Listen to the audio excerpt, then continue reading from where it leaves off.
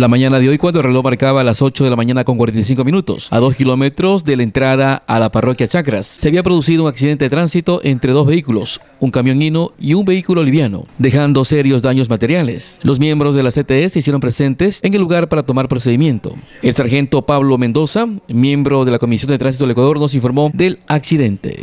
Así es, muy buenos días. Este, así al momento nos comunicó el 911 sobre este accidente aquí en la vía E50, aquí en el sentido Guaquillas Arenilla.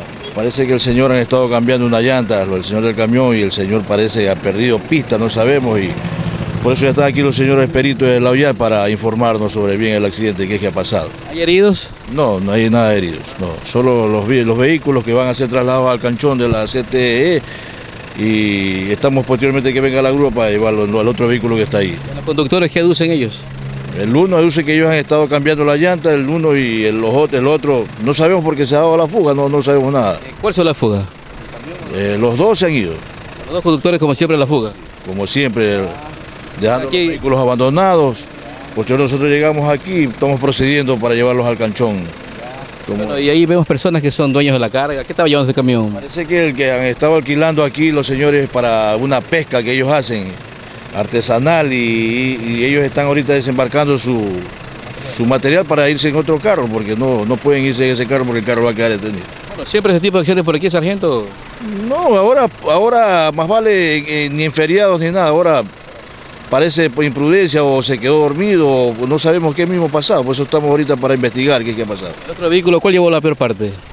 El, auto, el auto parece sí. ¿Qué marca es?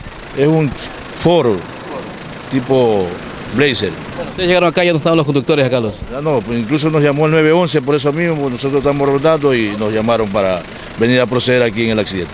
Solamente daños materiales y heridos nomás. daños materiales nada más, no hay heridos. Bueno, recomendación a los conductores que andan en esta vía. Eh, que por eso mismo nosotros estamos rodando y nosotros preveniéndoles que bajen la velocidad, porque parece que es por el exceso de velocidad. Sí. ¿Hay radares de pronto ubicados en, este, en esta vía? Sí, incluso hace, hace, hasta hace como unos 20 días eh, venían los compañeros de Guayaquil a hacer los radares. Incluso estaban de ambos lados, pero no sabemos ahorita en este no sabemos por qué no, no están, pero sí han estado en estas vías. Esperemos que no sea este tipo de accidentes. Sí, incluso a la ciudadanía le pedimos que más prudencia en conducir que por esa misma razón la, velocidad parece que es el cauce de los accidentes. Además, dialogamos con el sargento segundo, Carlos Tomalá, miembro de la Oficina de Intervención de Accidentes de Tránsito, OIA, quien dijo que fue un estrellamiento con volcamiento lateral. Inicialmente lo que se puede apreciar es que es, el accidente es un estrellamiento con volcamiento lateral de un cuarto y abandono de los conductores. ¿En este momento los carros son trasladados a dónde? Al centro de retención vehicular de aquí del Cantón Arenillas. Se presume que estaba cambiando una llanta, el otro vehículo se fue encima. Por lo que se aprecia, eh, uno de los vehículos, el vehículo que ha estado detenido, estaba con un neumático bajo. ¿Y la peor parte fue cuál?